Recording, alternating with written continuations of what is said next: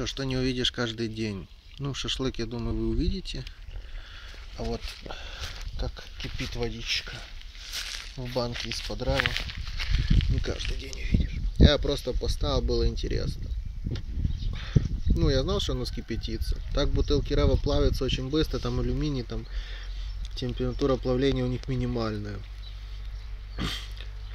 Но Это тот же самый прикол, как э, можно бумагу, ну, в бумажный пакетик налить воды, поставить над огнем, и вода будет кипеть, потому что вода полностью будет забирать все тепло. Ну и тут тоже принцип.